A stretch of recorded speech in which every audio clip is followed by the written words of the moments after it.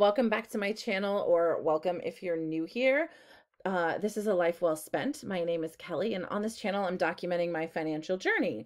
Um, I share things like my household budget with like my actual numbers, so my income. Um, I will close out my budget at the end of the month, show you how I did. I do weekly tracking to kind of keep myself on track. Um, I'm actually going to do some like goal setting and stuff this year as well to kind of try to expand the offerings. So if that sounds like something that's interesting to you or something you're interested in, I would love it if you subscribed and joined us in this community. I am a single woman. I am 41 years old.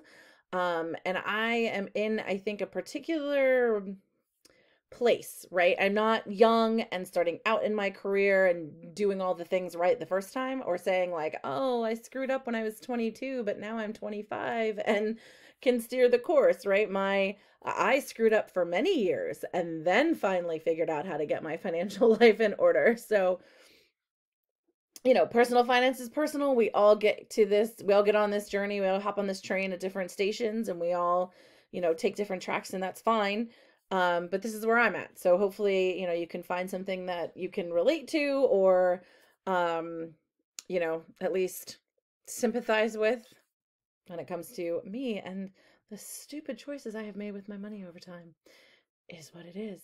I do have to say up front i have this weird like tickle in my throat going on like it had better not be covid. I am uh vaccinated had both shots in march got covid in march uh in between my shots so that's really fun then I got boosted and I got boosted like end of October, maybe. I realize it's January, but like, my God, better not be it. I'll be so mad because I'm about to go back to work and then I'll have to take sick days and I'm annoyed at the entire prospect. So it is like kind of like dry. I don't know.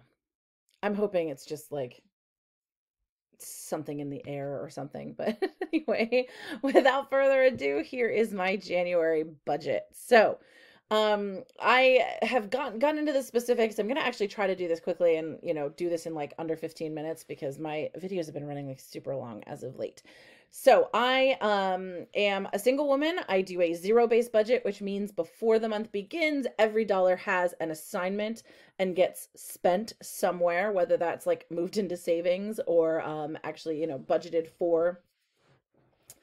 And I have essentially two sources of income, although I really would not consider the second one a source of income, but it just, for the purposes of the budget sheet, it goes here. My mother gives me about $291 a month and it covers some things that we have as shared expenses like we share a cell phone plan we share um an, a television plan like things like that. Uh, she gives me money towards um her granddaughter my niece's brokerage account because it's just i'm the one who set it up and i'm the one who's you know whatever she easier for her to give it to me than send it directly i don't know just it is what it is um, so that's, you know, kind of what that stuff comes in at. So it gets spent in my budget. So I include it as income, although like I said, it's not really income, but, um, I do get paid bi-weekly. So two times a, a year, I get that third pay month, which is fabulous. I think this year, 2022, I think the three pays are July and December again, to be honest. Let me look. One, two, my six, seven, eight.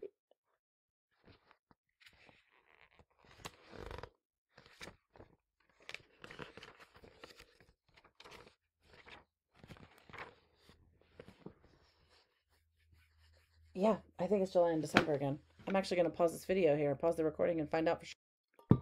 Yeah, it is. I took a drink in the meantime, too.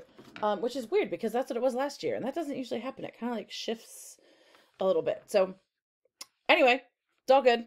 Um, but I like it's just it's easier for me to like take that money separate and put it towards a goal or um I think my plan this year is going to be to just put it towards my um hopefully by July I have my my one money goal taken care of so it'll probably go towards the second money goal um and then go from there. So anyway, um Income from my day job, $3,731.90. I get $291 from my mother for a total of $4,022.90. And this is take home. So um, what's already deducted from here actually is a um, contributions to my HSA. I max that out every year. Um, for me, that is, let me see, what was last year's? I just finished it.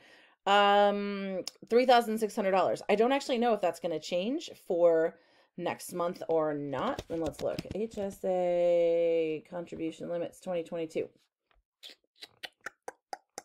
Ooh, 3650. Heck yeah, I can put another 50 bucks in. So that's great. So what I've typically done because it's kind of a pain to like calculate how much that's going to be each paycheck.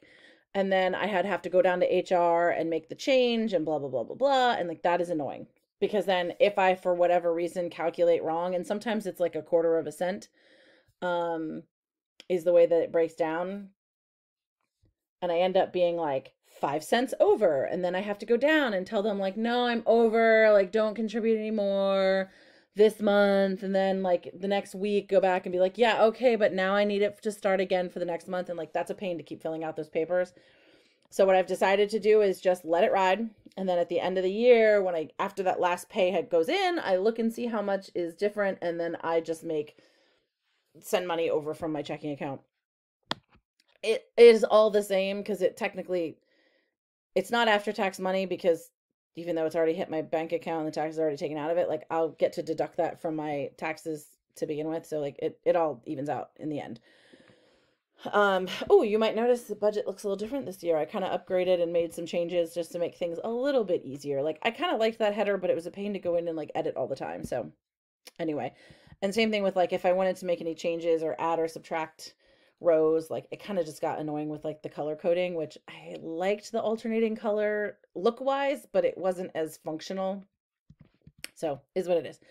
Um what else? Oh i contribute to a pension plan out of my um my income so that's about it Mortgage $671.86. That's principal interest. That's also PMI, insurance, and taxes all get escrowed together, which is fantastic. Um, I'm actually looking at seeing if I can drop PMI yet. I don't quite know where I am with that. And I'm going to do some research here and see kind of where, like, what I would need to do to actually get it dropped. Um, I'm told it, like, should automatically drop once it hits a certain threshold, but I've been in my house now for five and a half years. I feel like it should be able to hit that threshold pretty close because it wasn't a very expensive house. Um, electric 5748, that's mostly Christmas lights, which you can see. Like, I've got, ooh, there's my Penn State tree in the back. I've got three trees. So, you know, natural gas 137.50, which I'm pretty psyched about because gas was supposed to go up like 50%. Um, and I think what happened is, so I got a new furnace in November. And I think what happened is, I think the price per unit of gas went up so like if this is what I normally pay, this is what I would pay with the old furnace because the price per unit went up. But I think instead what happened is the so the price per unit went up to here, but my unit got more efficient, so I was actually using less less units of gas, whatever that measurement is. So it stayed about the same, which I'm thrilled about. Truly thrilled about. Um, and this is realistically, it's for December but the bill comes in January or comes due in January. So I just include this as January's budget because I don't want to have to go in and like estimate and come back and like change it. Like that seems silly to me. Like I know this well in advance. In fact, usually when I get the electric bill, that's my, oh, make sure we finalize our budget. So we're $58. It's a flat rate. It's annoying because like if I traveled for the whole month and never flushed my toilet once, I would still be paying $58 for sewer. Water is 18.98. That went up a penny from last year. So that's such a weird go up a penny, like, but whatever. Um, that's technically not a flat rate, but kind of is for me because there is a flat rate based on usage. So same thing, like if I travel for a month and I don't use any water, I'm gonna get charged that. I almost never go over like the minimum amount of usage though, but then after that it, it is a variable rate based on usage. I'm rarely ever there. Internet, $146. That is internet and television. It includes a television package that frankly has the Big Ten network, and that's the only reason because my father likes to watch it. And he is, um, for those of you who don't know, those of you follow me, um, no, but for those of you who don't know, he is um, paralyzed after an accident. So he gets very few joys in life. And if it costs me a little bit of money to get him Big Ten Network so he can watch Penn State, then it is what it is. Cell phone, um, $60. I've had to actually up that from normal because I traveled a little bit. I just got back um, from visiting my niece and I knew that like I'd be using data because I'd be using the mapping feature to get out there um, and things of that nature. So I, I uh, need to up that because I know that that's going to be more expensive than it usually is. Groceries, $100. Life insurance, $7.50. That's just a term life and pol- policy. It's very small. It's not really going to cover much of anything other than like burial expenses. Um, gas $200 i upped that because i and i also upped my personal to $450 i intend to go skiing this month. I don't know that that's going to happen because it's going to be ridiculously warm most of the month. I mean it's not really warm warm but it's not skiing weather. Um it's going to be mostly like in the 40s which is annoying because that is annoying skiing weather. Like it uh. When you ski on the east coast it's annoying because then at some point like as it gets later on in the day and the temperature drops all the snow that was kind of melty-ish in the 40s, now it's in the low 30s, high 20s, and it's ice. If you ski at night, you're skiing on ice, and that's a pain. Uh, $100 to the brokerage account for my niece. I do 50. My mother does 50. That's part of what she gives me above. House garden, $100. Um, I don't actually know that I'm to even spend that. We'll see. Restaurant, $50. I upped that because I'm kind of starting to go out on dates and stuff, and I figure I should probably give myself a little bit more wiggle room. Fitness, $50 for fitness. It is my year of health. That is one of my goals this year. And with that is going to come some fitness related purchases. I'm going to subscribe to Apple Plus or Apple Fitness Plus because I got a th- free three months with my Apple Watch and I freaking love it. Just sucked it up. I'm going to spend it. I don't care. I love it. I'm going to keep doing it. Whatever keeps me motivated to like get fit is going to work with that's probably going to be some equipment here and there like i might buy some dumbbells um i may need to buy like new workout clothes as i kind of hopefully lose weight and no longer really fit in these. So um i'm kind of planning for that and i'm giving myself 50 bucks a month. Personal 450 that's i kind of explained that mostly planning on going skiing but i have a feeling i'm gonna come not even gonna come close to spending that. Miscellaneous always in a miscellaneous category things come up so that's $100. And my Roth IRA right now I have set at only $250 because my plan is to go 250 and then put the third pay in my third pay months um, on the rest of that. Or rather, once I hit my um, emergency fund goal, the rest of it goes on the Roth IRA till that's taken care of. And then um, we go from there. Um, AES, that's my student loans, $200 a month payment. And then the rest comes the sinking funds. And these actually are going to look a little different this year. And um, I have a video that's going to come out and explain those a little bit differently in a little bit more detail and kind of why I'm setting them up the way that I'm setting it up. So I'm not going to get into detail right now about it. One thing I do want to point out is some of these are zeroed out. Some of these are new and they started with $200 because somewhere along the line, I don't know where, I don't know how.